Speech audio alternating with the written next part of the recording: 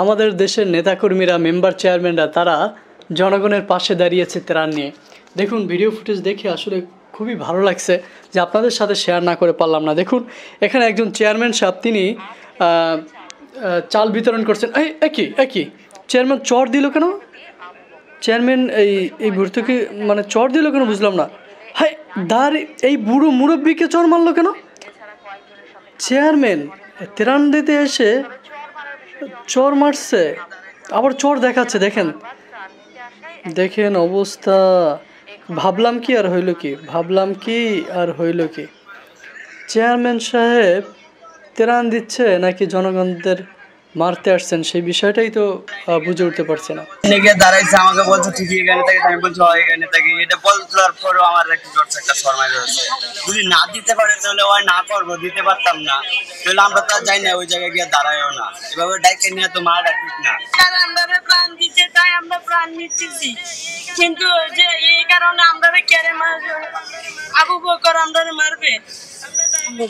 আমরা দায় বিচার চাই। এই আবু বক্কর সিদ্দিক চেয়ারম্যান নেত্রকোনার চেয়ারম্যান, চিন্তা করুন, ত্রাণ নিতে আসা ব্যক্তিদেরকে তিনি চর মারছেন, তিনি থাবড় মারছেন, মহিলাদের গায়ে হাত দিচ্ছেন এমনকি দেখতে পেলাম তার চেয়ে বয়সী বড় এমন ব্যক্তির গায়েও তিনি হাত দিতে ভুললেন না। এসেরা হলো দেশের শত্রু।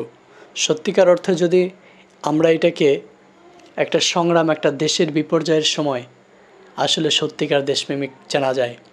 বিপদের সময় যেমন বন্ধু চেনা যায়, ঠিক তেমনিভাবে দেশের বিপর্যয়ের সময় তখন সত্যিকার দেশপ্রেমিক জানা যায়।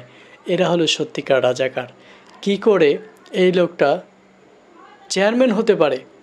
জনগণের ভোটে তুমি নির্বাচিত হয়েছো এবং জনগণের সম্পত্তি তুমি তাদের হাতে বন্টন করছ, এখানে এসে সেই জনগণ জনগণকেই মারছো? এর চেয়ে বড় বেয়াদব আমার দেখা দৃষ্টিতে নাই। এই বেয়াদবকে উচিত হলো সমগ্র জনগণ মিলে ওকে গণধোলাই দেয়া। হাত পা ভাঙবে না, শুধু গণধোলাই দেওয়া হবে। গণধোলাই দিয়ে ওকে উচিত শিক্ষা দেওয়া উচিত। সরকার এবং প্রশাসনকে বলব, এই ধরনের বেয়াদবরা আসলে আমাদের দেশের মান ক্ষুণ্ণ করছে। এরা জাতি এবং দেশের শত্রু। এদেরকে কঠিন হস্তে দমন করা হোক এবং সর্বোচ্চ শাস্তির আয়তায় আনা হোক। কত বড় জালেম এই ব্যক্তি যিনি বাবা বাবের বয়সী, ছেলের বয়সী, মেয়ের বয়সী এই মানুষদেরকে তিনি মারতে পারেন এবং তিনি কি বললেন? যে তারা বারবার আসতেছেন এটা। অজুহাত, তার দেয়ার ভঙ্গি দেখছেন? যখন দেয় ছুঁড়ে মেরে দেয়। মনে হচ্ছে যে মানে কি বলব, আমি আসলে কোনো ভাষাই তো খুঁজে পাচ্ছি না যে এই জানোয়ারকে আমি কি বলে সম্বোধন করতে পারি।